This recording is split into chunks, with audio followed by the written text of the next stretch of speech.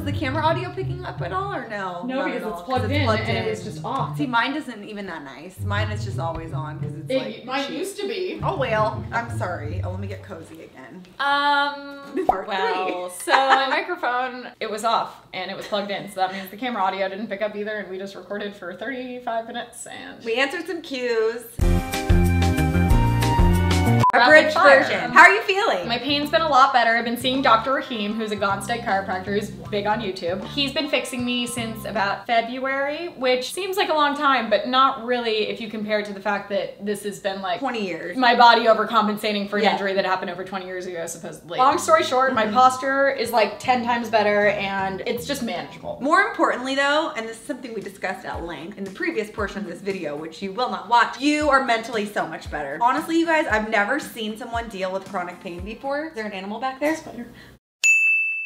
Oh, it's Charlotte. Let her live. Um, I've never seen someone deal with chronic pain, and I've been around a lot of people going through serious illnesses and injuries. I mean, basically, since I've known you, you've had like little things here and there, but in the last six months, it's been like Seven. I've seen Lily some pretty dark places. You're doing really well now. Oh. You're not 100, but you're so much better. the mental aspect of everything you've had to deal with is what would really throw me for a loop. It fucked me up, I'd say. It really did. I think that's fair to say. And I've been furnishing my apartment. My office has made, this is what it looks like so far. I'll give you a little preview. Gorge. My uh, little editing Den. layer. So It's, just, your like, layer dark. for effing.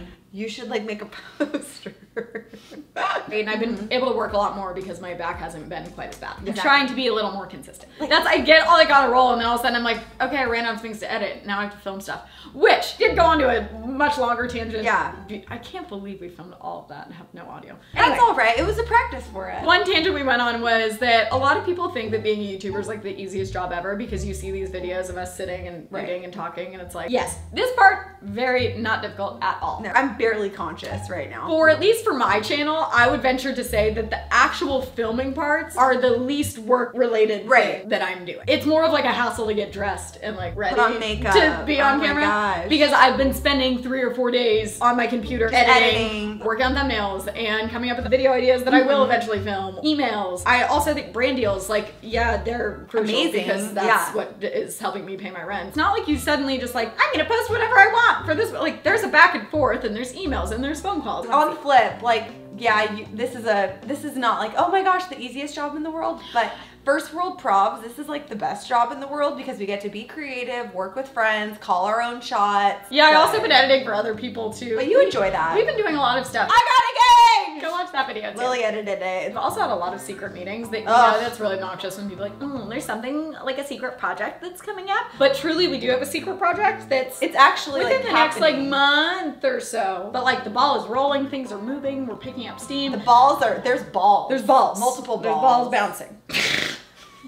what are your roles with Clevver now? Oh yeah, Because Clevver's back. Yes. Yay! It's awesome. We're so happy. Like only honestly, took four months. Didn't know if it was gonna happen, so I'm really glad. The thing we've been working on for so many years. I know it didn't just die. That said, we aren't back in the exact same capacity as we were before because mm-hmm. that was full time and really time consuming and it was a lot and we can do all this really high quality content. More is more now. Lily, I thought you already quit. Are you back? I've thought like because we've been in We've been in you've been in a lot of stuff. I've been in a couple, but basically I had quit, but I had signed a freelance contract where I was gonna go back once in a while and still be on beauty break and beauty tripping and stuff. Then all that went to shit because Defy Shut down. shut down. But then this new company bought Clevver, so we both actually signed freelance contracts. Mm-hmm. So we go in as talent, show up, and we're like, "What do you want us to do?" We're Wear denim panties? Okay. Literally. So Laughing. basically, we'll be going in five days over Yep. Mm-hmm. the course of three months, and then TBD. Been in a few times already. yeah, I've so been in a bunch of videos. It's been really fun. The videos are doing really well. You guys are loving the videos. So you'll see us in a bunch of Clevver stuff still, but we're not like behind the scenes making it. But going it is also a lot of people. Like Jill is still there. She's still coming up with a lot of videos. Yeah. So. Jill's the woman Things in are all going The great. national treasure exists. So What that's what's going on with? Clevver. Our role is that we are talent, which is something I never thought I would ever say. Is it so funny? You guys, Lily did not pursue It's it. your guys' fault and her fault. I blame all of you. Thank you.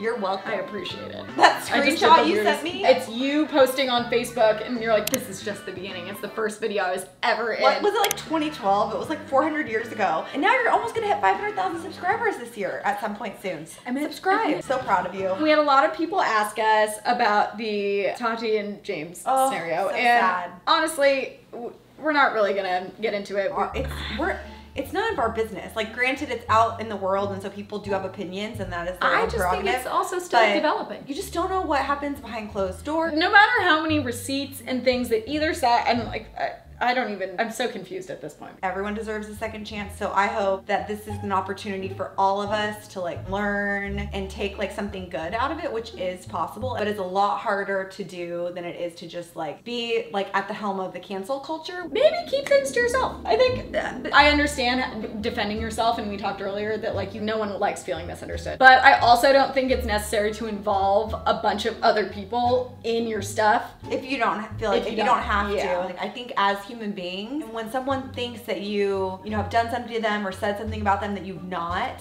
it's the worst. Or You just- misunderstands your intentions behind something. Or, So I understand why people would want to like put their, you know, thoughts, ideas, whatever out there. Uh, it blows my mind, first of all, that this is happening with like James. Maybe you don't consider an adult, but like uh, like twenty, he's turning twenty. Yeah, his birthday's coming up. He's over eighteen. That's considered an adult. When people are like very quick to react, and it's like that's my opinion. Well, this is what I think. Everyone's stuff is valid. Everyone's opinions are valid, Yeah. but you know, focus on your own shit and stop involving other people. Maybe this is not to them. This is just in general. Everyone's very quick to go to the internet as this outlet to like express yourself. That doesn't mean you need to be a dick or call people out. I like to really empower the people who leave nice comments on my videos. Like, if you leave me a nice comment, I'll answer you. But even so, and I'm someone who like I'm an I'm an adult. Like, I've been through this rodeo for a long time. Most comments don't bother me. Literally, I had this person arguing with me. The one thing I got out of this video is that Joslyn got a really bad nose job, and I was like, then why is my nose still crooked? Like, do you see this? And they were like, sis, you got a bad nose job. I definitely did not. This is like when people uh, started accusing me of getting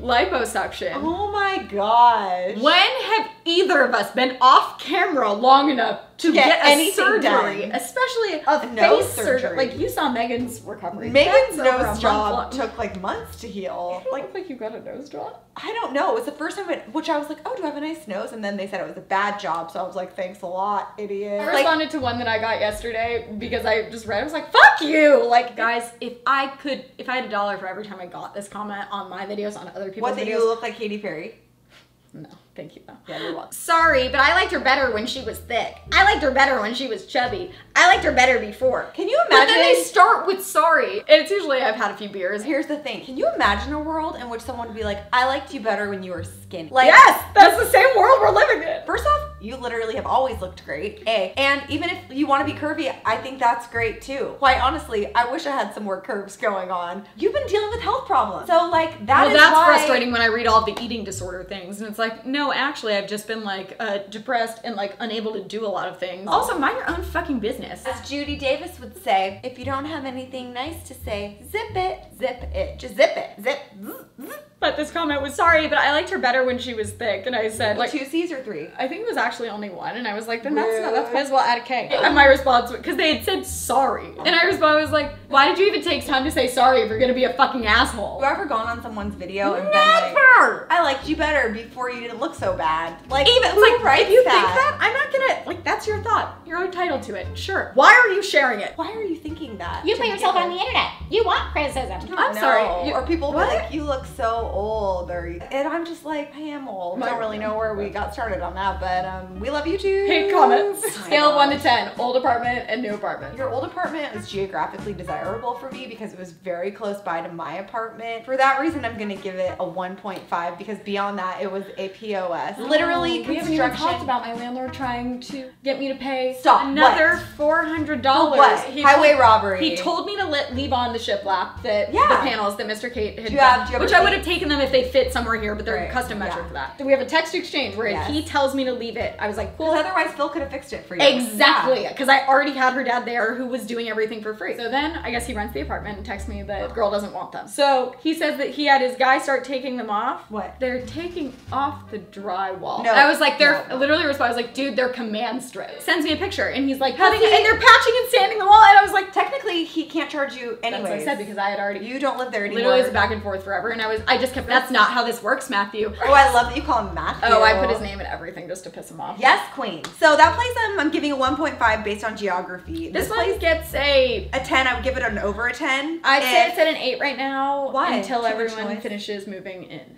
Oh. This goes back into what we were saying later. It's about, it's not directly about the James Tati thing, but it says, we see a lot of friendship strains on social media. Have you guys ever had a falling out with a friend that couldn't be fixed? Well, first of all, I would not post about it on social media. No. And second of all, honestly, I've never had anyone that I full on was like, I'm cutting that person out of my life and mm-hmm. never talking to them again. No. no, I've never had that either. Like, but I've just had like friendships that grow and change over the years. Like, obviously, like people that I knew in kindergarten, like most of them I don't know anymore. And I think that's like obviously a very extreme example. And then you just have like friends at different stages of life. Like maybe that your job that you worked at in college, like I was a bartender, all those people I used to hang out with after work and like I still love them, but we just are at different stages of life. It's not like a dramatic thing. For the most part, I cannot think of But I don't one person where I've ever had like a fight falling out where we don't talk anymore. And I will say, and I know you're the same, I do have friendships that I've had for like 20, 30 years at this point. But then like you, I think once you're an adult, especially like people I met in college or after college, those are the people, a lot of them that I feel like will be with me for the rest of my life. And then also like once you get old, guys, it just gets hard to Well, manage that's everyone time. has their own lives, and I want to like see my mom, you know?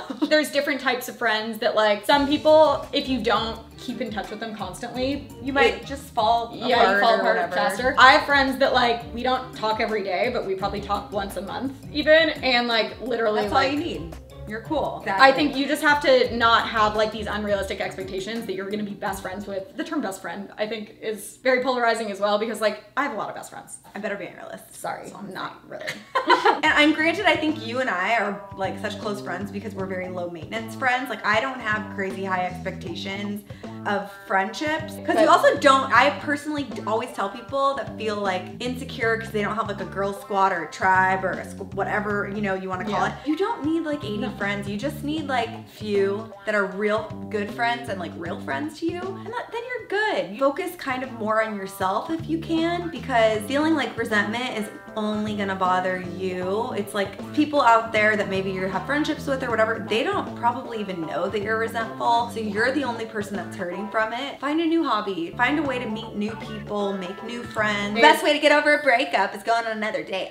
She has to go pick up her fiance. I'm a fiance now. The ring is so pretty. Oh my gosh, so I'm gonna be a wife. My honest thoughts about your fiance. Oh, great. That's your question. Yes. What are your honest thoughts? I, lo- I love him. That's my honest Do thought. you? Good. I love him. I think he's great. When did you first meet Chris? Like right after you had met him. Oh, at I that came in for a meeting. And he was with two of his friends, and they all came in. And I was looked so gross. And I just remember walking in. Joss had been like, "Oh, these guys are coming in for a meeting." And I, after you didn't tell me they were really hot. I'm like, I would have gotten ready. So then they went on a few dates, and Yeah. she was like, "I can't tell, but I think he maybe like work zoned me." And I'm like, "What the fuck does that mean?" She's Like, he just wants to work with me. And I'm like, didn't you just go on like a bike ride through Santa Monica with him and spend three hours with him? And she's like, yeah. And I'm like, doesn't sound like a work zone situation. And she's like, yeah, right. Like trying to think of timeline wise. You met him right after the Amazing Race, right? Yeah. I think I first like met him not in a meeting Uh-huh, yeah. at your Amazing Race viewing oh, at the party at my parents' mom and house. dad's house. And I remember he came up and was just maybe I'd met him like once before or something. And that was when he was first like kind of like Really like her parents hadn't met. My parents were throwing a party. I had invited him, so I had to tell them I was dating someone like three minutes before the party started. And my parents were like, "Thank God." He? Only way I could describe Chris is that he comes into this party, comes up, Lil, hi, nice to see you. I don't even remember what we were talking about, but asks me a very specific, like, follow up question to the last time I had seen him. yes. You were working on this last time I talked to you. Like, how's Yeah. that going? Mm-hmm. And I literally was like, Wait, you oh. actually listened? That's well, it was weird. like one he listened to, like oh I don't I don't even remember. Thoughtful Like, question. Yeah, I was like caught me off guard. Literally just like the nicest, most, and he's so like genuinely like interested in what you're saying. Yes. Kind of one of those people. It's like, what are your deepest fears? Yeah, he's not a small talk person. Mm-hmm. And it's not like a weird, like he's trying to get info from you. He's just genuinely like a deep person and wants to talk to people about things that actually matter. And he always is like a good, Very good memory. a great conversationalist. Like I That's- can leave him in a room with people and be like, I'll be back in six Oh, hours. Oh, he's not someone you need to babysit. He's like, cool, be great over here. They, cool. I'll, I'll, do they have some beer? I'll hang out. Sounds good. I don't know where he came have a good, you like him. I'm a big fan. You're a big fan. You can be ghost with us too. Thanks. That would be fun. When we're all dead together. Oh, should we actually end it on one other note? What?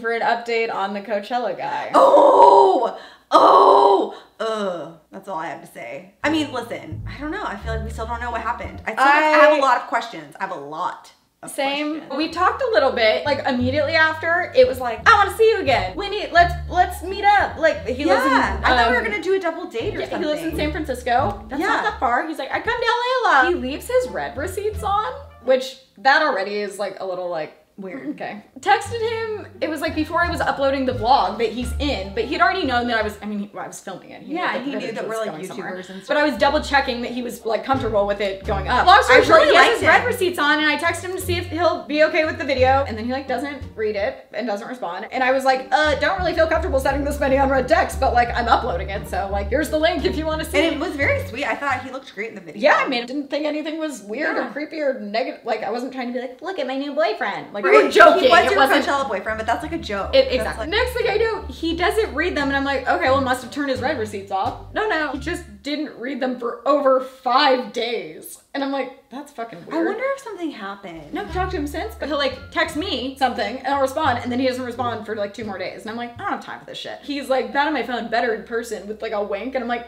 Okay, well then bye, I I guess. was like, so when you coming to San Francisco, I want to be like, well, maybe I would come, but when I get there, you probably won't answer your phone. Oh, I Pull a fucking Trisha Paytas on me. We should go there and just post a bunch about it, but not contact him. You know what though? Chris is younger than me, so maybe your future boyfriend isn't born yet. I thought you were gonna be like, maybe he knows Maybe someone. I was like, no, we've already tried that. Maybe your boyfriend's in college.